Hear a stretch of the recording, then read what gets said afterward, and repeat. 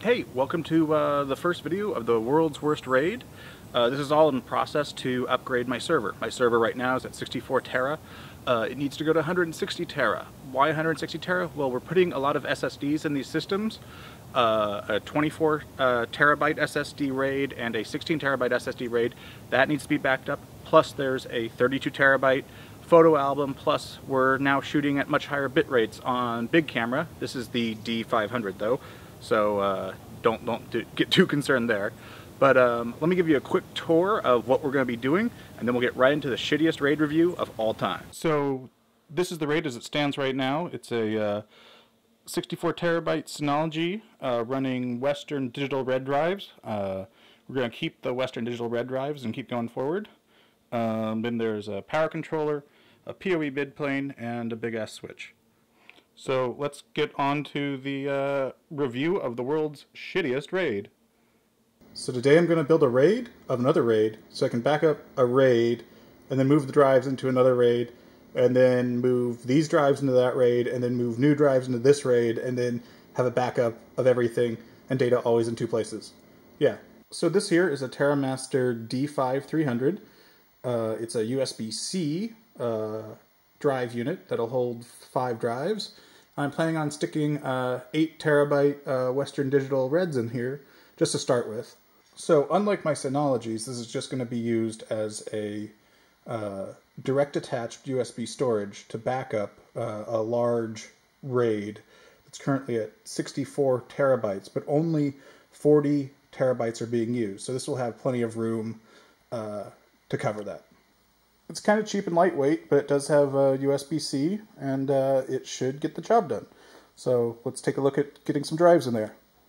So right off the bat, this is not toolless. So if you're looking for a toolless configuration, uh, look somewhere else. Even for uh, big hard drives, uh, 3.5 inch hard drives, you have to use screws. So bummer. But hopefully I don't have to do this too many times. So this is definitely not enterprise class, but uh, for 240 bucks, I think it'll work just fine. Really, screws? Screws, really? Screws in a toolless world, really? So uh, it is quiet, those fans in back kind of scared me, but uh, yeah, seems to be working. Can it be that easy? Just insert the drives and then download their uh, proprietary software? I don't know. Let's find out. It seems to have worked and created its RAID 5. That was still pretty painless. Just hopped into disk management to do a format, and it looks like it's to format. We'll uh, take a look. We got a whole lot of blinking lights which is a good thing. And look at that. We got a format.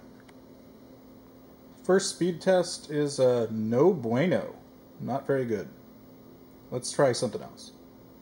So with larger blocks, we are getting much better read and write speeds, but we are getting a very long 1700 millisecond response time. So uh, yeah, I'm I'm gonna keep an eye on it. I'm actually gonna run this. Uh, I'm gonna run this on a stress test for a while, and uh, just make sure there's nothing wrong with the uh, enclosure or any of the drives before I go trusting data to it.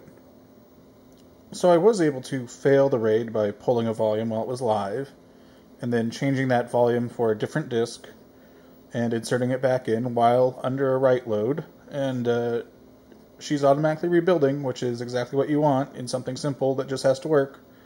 So I'm going to keep uh, stressing it and rebuilding and uh, see if we get any other failures. Gives you a pretty good sense of what uh, it's doing via the lights. That's at least nice. Well, I really wanted that to be an easy video, but as it turns out, it's not. That RAID box cannot withstand anything higher than 40 to 45 megabytes per second.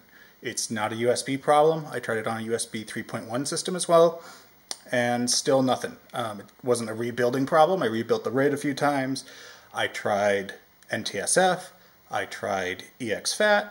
Um, it's it's really inherent into the device, and it's a problem with the device. So uh, that's a do not buy. I'll look for another solution, and I'll keep you posted. Thanks. Sad panda. So many hard drives without a home. Well, what do you know? Just as I was about to uh, finish this review, um, this came in the mail. Uh, this is a uh, SanDisk Tower RAID uh, TRU, sorry, TR5UT plus B. Um, it's slightly older, but it is USB 3, and hopefully it will be a nice interim volume to have a local backup instead of the uh, online Amazon Glacier backup uh, available for that RAID in case I lose data locally. So um, I'll get this video up uh, just in about a day or two. It will not be long because I really got to get this RAID built. I've got a whole bunch of projects that are relying on getting the big Synology built. So stay tuned and till next time.